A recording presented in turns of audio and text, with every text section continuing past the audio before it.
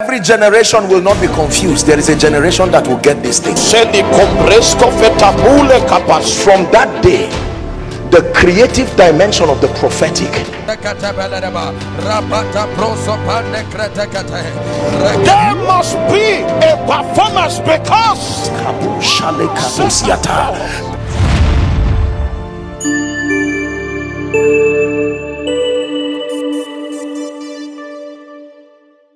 the value of any spiritual platform among many others is measured in the kind and the quality of the message that has been given to them and how intentional they are in dispensing that message.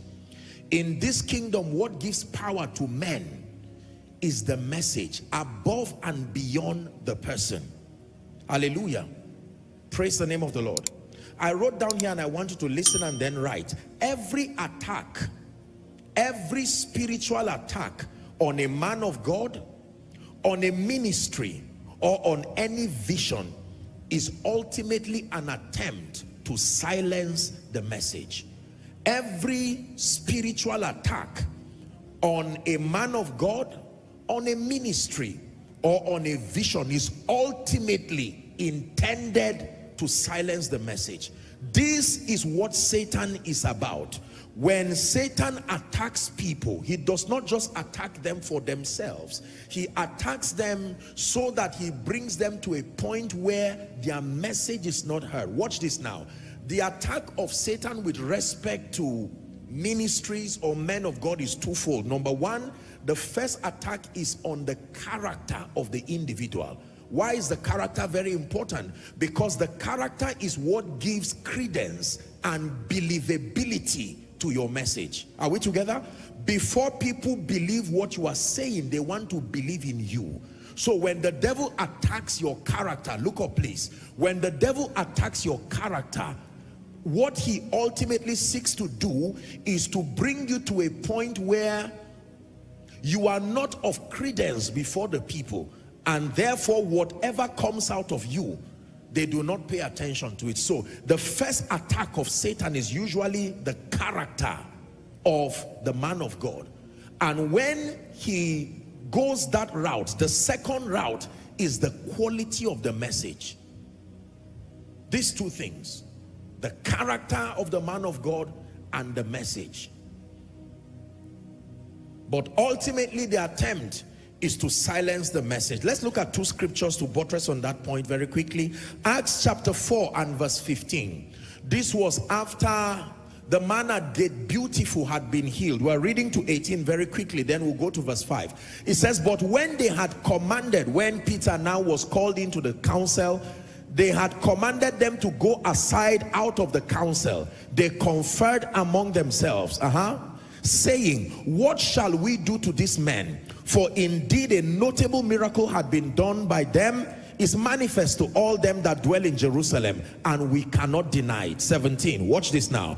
But that it spread no further among the people let us straightly threaten them that they speak henceforth no more to no man in this name. So the problem was their speaking there was something about their message and the power and the transformation it was producing. Verse 18.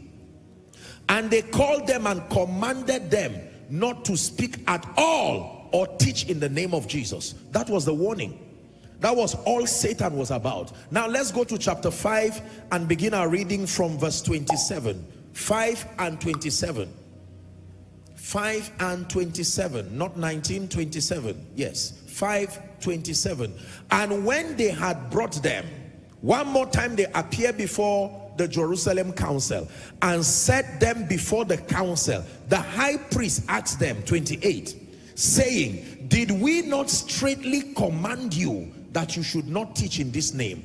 And behold, ye have filled Jerusalem with your doctrine. Other versions will say with your message and intend to bring this man's blood upon our heads. The message is powerful because among many things that the message does is to give the people a new orientation. It structures their understanding to begin to see God and to see life from a more superior standpoint. And these guys were threatened by the message. Someone said the message. Now, let me let me just share with you something very powerful before I go to the meat of our discussion. I wrote down here and if you are in ministry here, particularly the fivefold ministry, I want you to please pay attention. This is a two or five minutes powerful crash course as far as excelling in ministry is concerned. Listen very carefully. Every ministry I wrote down here, every calling and every commission from God that must find expression must have these five essentials. So that every ministry every calling and every commission that is from God and seeks to find expression must have these five essentials.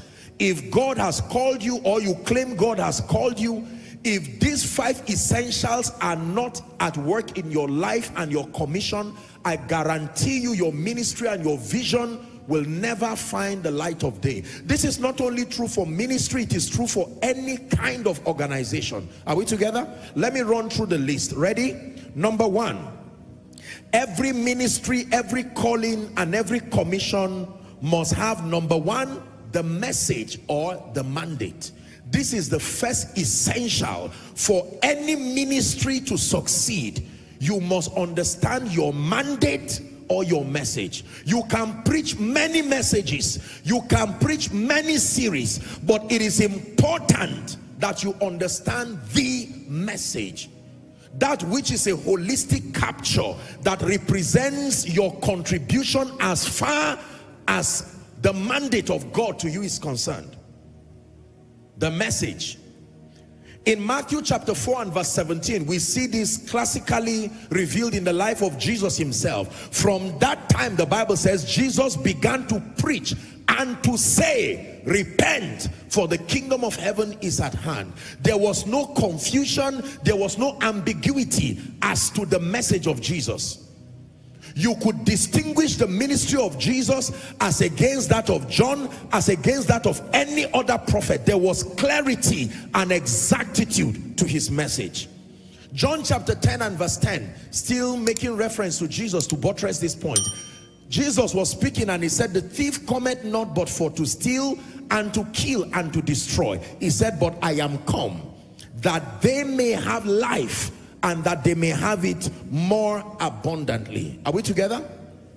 In Matthew chapter 10, I believe from verse 7, he was commissioning the apostles, the disciples now, and he made, before he started talking about signs and wonders, he said, as ye go, preach, saying, there was an exact content to the message. He didn't say, as ye go, well, just say whatever you want to say as ye go preach saying the kingdom of heaven is at hand meaning within your reach.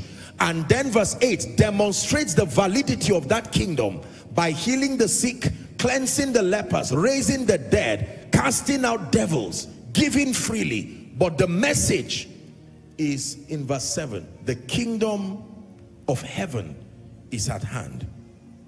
So every ministry that must find expression. Every organization must have their mandate and their message clearly spelled. Please look up. Now, I teach, especially in ministers' conferences, when I charge ministers, especially on this point, I tell them that God has called different ministers to do several things. It is the mandate and the assignment of every man of God to insist that the subject matter that relates to the area of call and mandate becomes one of the truths that are most surely believed among the people. Is that true? Let me give you an instance. If you go to Canaan land to our father in the gospel, Bishop Oyedepo, there are many things that you hear people know, but a typical dedicated covenant winner when you speak to them as touching the matters of faith they live they breathe faith because in one word the theme of that commission is faith are we together yes Respectfully speaking, if you go to, say, Mountain of Fire and Miracle Ministries, you know, you step from the gate, you will start praying. Hallelujah. It doesn't matter whether you are saved or not. You can be saved later on as you go. But from that place, because the, the energy of the mandate will force you into the vision. Is someone learning already? It's important that every vision that must thrive, especially to a global scale, the people who are connected within that vision must understand what they represent. Great organizations across the world, both in the Christendom and the secular, they have all kinds of creeds that indoctrinate the workforce, helping them to understand these as a basic modus operandi of the company. If you meet someone who works, say, in McDonald's, and you ask them certain things about, the, it will be an embarrassment to the company that they just say, me, I'm selling here, I don't even know what we are here for. It's important you understand your message. Many believers and many organizations are not able to thrive because there is confusion and haziness as far as understanding the message is concerned. Number two, very quickly for time. The second essential that every calling, every ministry must have is the strategy for execution. I call it the pattern. It's not enough to